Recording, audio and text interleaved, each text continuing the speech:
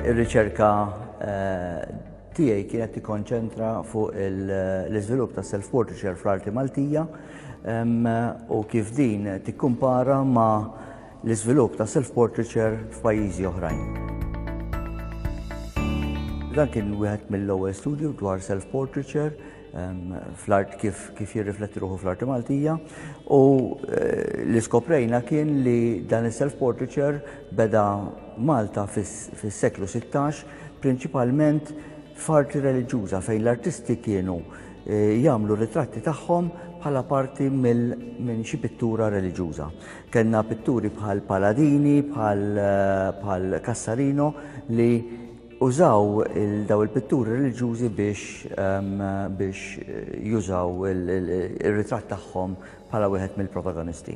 Eventwalment insibu li fis-seklu 17 Mattija Preti kien predominanti fil-użu tal-awtoritratt fil-pitturi tiegħu u mbagħad minn dak iż-żmien law kien hemm ħafna aktar żviluppi u baqgħu għaddejjin. L-istudju kien jikkonċentra iktar fuq l-iżvilupp ta' self-portraiture partikolarment però fis-seklu 20.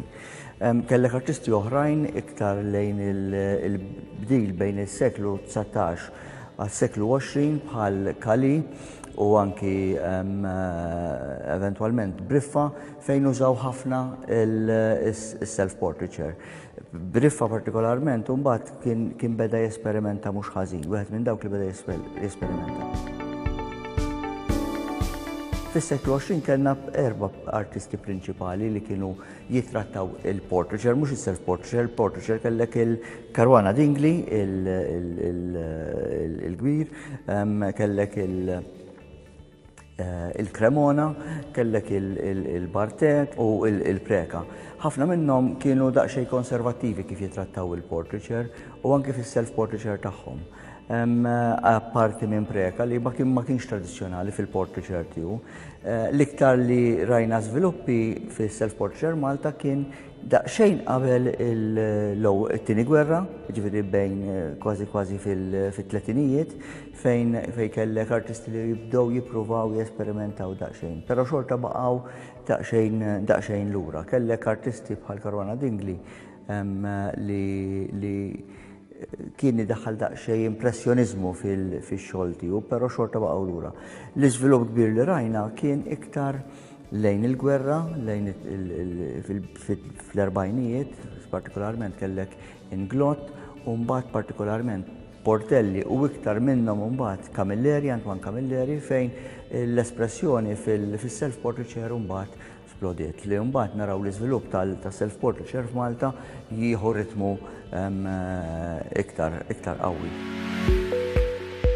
Qabel il-gwerra il-self-portraiture kien mod tradizzjonali ħafna bdejna naraw imbagħad iktar esperimentazzjoni fil-wara l-gwerra, partikolarment bħala artisti fejn kellek il-portelli immiktar minn portelli kamilleri fejn juża mhux neċessarjament il-wiċċ bħala il-metodu kif juża kif juri is-self-portrait, kif jużi jura l-autoritratt, imma wkoll metodi oħrajn biex juri u minu.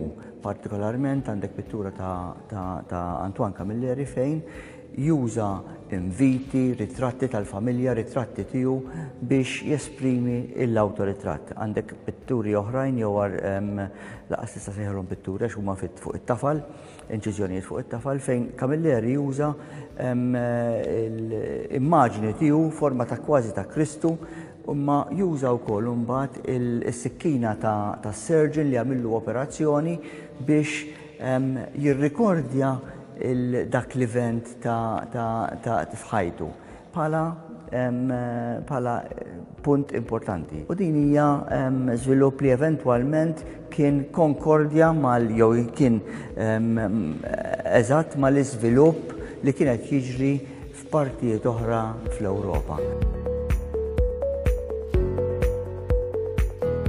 Kemm Portelli kemm anki Camilleri marru jistudjaw fl-Ingilterra u fi Franza fejn kienu esponuti allura għal xogħlijiet iktar kontemporanji, iktar espressivi, iktar fejn l-esperimentazzjoni kienet għaddejja u naħseb dawn ġabuh magħhom u esprimew hawn Malta. L-artisti li ġew warajhom mbagħad kellhom xalata għax kellhom fuq xiex jibqgħu għaddejjin. U mbagħad naraw illum fis-sebgħinijiet, fit-tmeninijiet, fid-disgħinijiet, artisti oħra żgħażagħ jesperimentaw ukoll fuq il-self-portraiture f'diversi medji partikolari.